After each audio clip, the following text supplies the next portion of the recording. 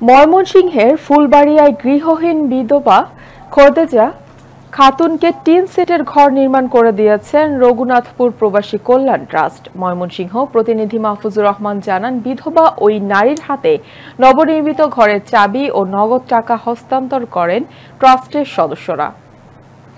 স্বামীর মৃত্যুর পর মানবেতর জীবন পার করছিলেন খোদেজা। ছিল না মাথা গোজার ঠাই। এমন অবস্থায় তার পাশে দাঁড়াল প্রবাসী কল্যাণ ট্রাস্ট রেমিটেন্স। ঘর নির্মাণ করে খোদেজা খাতুনের হাতে ঘরের চাবি ও নগদ টাকা হস্তান্তর করেন ট্রাস্টের সদস্যরা। ঘর পেয়ে আনন্দিত তিনি। শুধু তাই নয়, এক বছরের মানব সেবায় মসজিদ, মাদ্রাসা, হতদরিদ্র মানুষের মাঝে নগদ অর্থ ও খাদ্য সামগ্রী বিতরণ সহ বিভিন্ন সাহায্য সহযোগিতা করে যাচ্ছেন সংগঠনের সদস্যরা।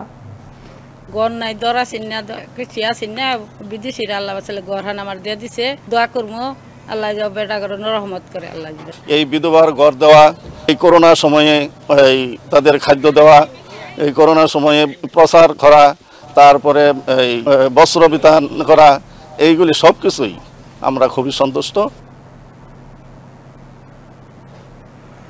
বাংলাদেশ টেলিভিশনের সাবেক উপমহাপরিচালক বাহার উদ্দিন খেলন বলেন, সাংবাদিকদের অধিকার রক্ষায় সরকারের পাশাপাশি তাদের এগিয়ে আসতে হবে।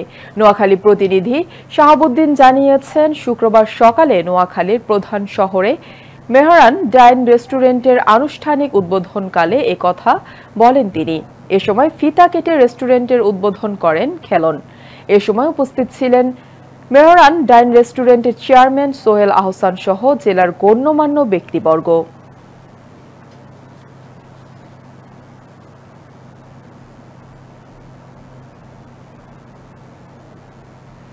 পটুয়াখালীর কলাপাড়ায় আন্ধারমানিক নদীর তীর থেকে অবৈধভাবে মাটি কাটার অপরাধে তিন ব্যবসায়ীকে তিন লাখ টাকা জরিমানা করেছেন ভ্রাম্যমাণ আদালত।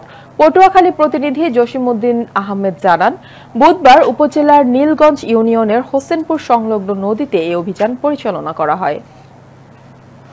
অভিযান পরিচালনা করেন নির্বাহী ম্যাজিস্ট্রেট ও উপজেলা সহকারী কমিশনার জগৎবন্ধু মণ্ডল। এ সময় নিজামপুর কোস্টগার্ডের কন্টিজেন্ট কমান্ডার হরিপ্রসাদ সিংহ সহ থানা পুলিশের সদস্যরা উপস্থিত ছিলেন। অভিযানে একটি এক্সক্যাভেটর ও একটি পঞ্চুন জব্দ করা হয়। ভ্রাম্যমাণ আদালতের বেঞ্চ সহকারী উবাসে মং জানান, অবৈধভাবে মাটি কাটার অপরাধে বালু, মহল ও মাটি ব্যবস্থাপনা আইনে সোহেল গাজীকে এক লাখ টাকা, আলাউদ্দিন হাওলাদারকে এক লাখ টাকা এবং সুমন মৃধাকে এক লাখ টাকা জরিমানা করেছে নির্বাহী ম্যাজিস্ট্রেট।